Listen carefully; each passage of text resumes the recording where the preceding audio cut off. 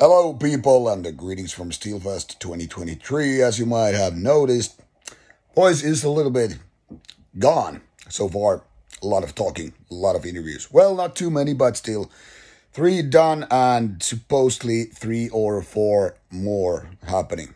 And as you can see, uh, since it's like 11 something on the last day, uh, not just having beers all the time, but a little bit coffee as well.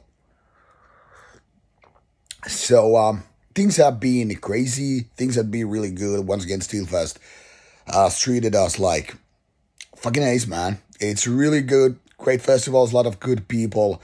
And uh, the only downside is when you do interviews and meet friends, you're gonna be missing bands. But hey, it's it is what it is. Uh, stay tuned for more uh, short videos coming through the festival. Most likely just Martti, but we'll see. Take care.